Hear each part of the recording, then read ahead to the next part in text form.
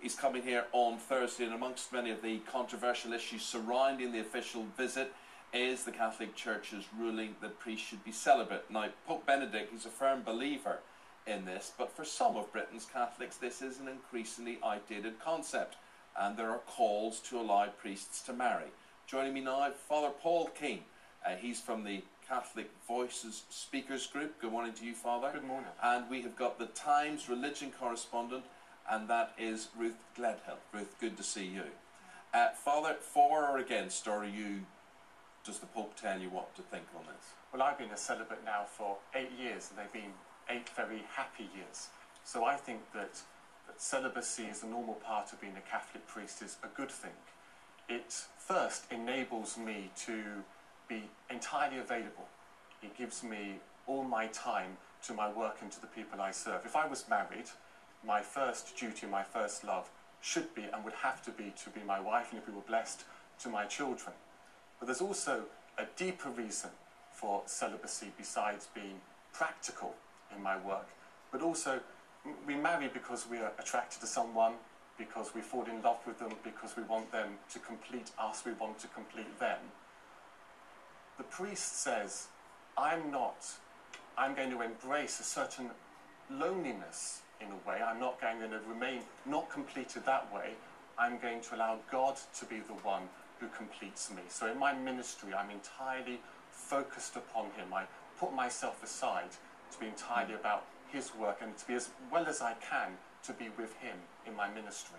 And I presume you're not the only religion, the Catholic religion is not the only religion in the world to, to do that. I mean, that would be a sort of. there are many, there are many women and men, even not of faith, who see much worth in celibacy. Yes. You know, often we can be out there, can't we, in the market, almost selling ourselves. And many women and men have found actually standing back and having a time of celibacy has allowed themselves to mm-hmm. appreciate themselves more.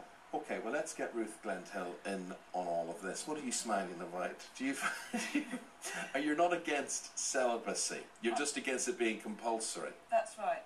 Um, and in fact, not all Catholic priests have to be celibate because many Anglicans are converting and taking their wives over with them. And in fact, what do they take their and and and they're allowed sexual relations with their wives? Um, well, can they not just stay married and be celibate?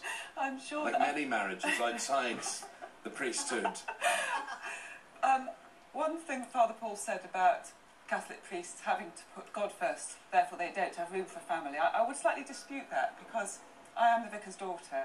Are you? So my father's a priest, and I know from experience that um, God can be a competitor in a marriage between a man and a wife, but nevertheless, a good Anglican priest is capable of putting both God and his family first in the priority that it deserves. In fact, by putting God see, first, it enables you sometimes to be a better husband. But you see, a lot of Catholics, and I speak as one, and Miss Jacqueline might speak as one as well, and you see, I would see, I would identify what uh, with what Father Keane has said there, and I think the celibacy thing gives him a spirituality that a Protestant minister doesn't have. Oh, but you see, my father was an Anglo-Catholic priest, and um, he had a very intense and deep spirituality. So again, it all depends upon the individual.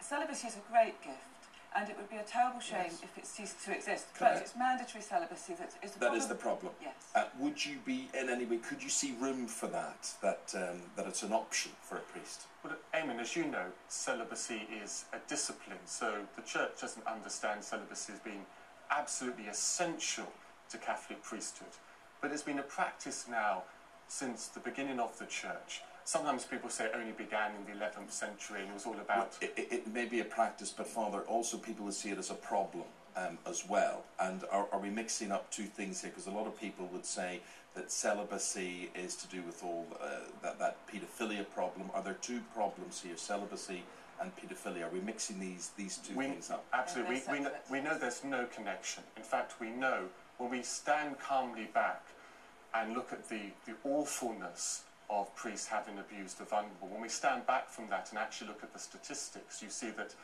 uh, Catholic priests are statistically less likely to um, hurt a child or a vulnerable person than, for example, a married man. We know that sadly most abuse happens in the family home. So they're two quite separate issues.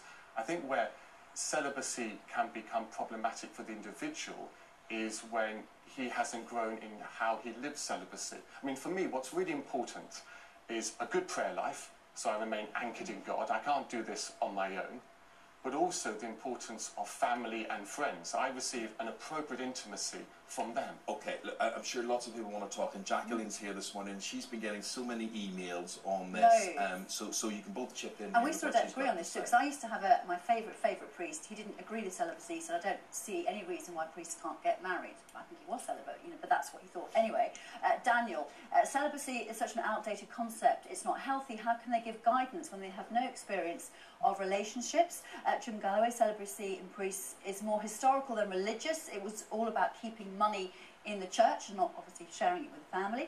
Um, Terry Evans, I think it must be difficult for them. It's not natural. I'm sure it impacts on their ability to minister.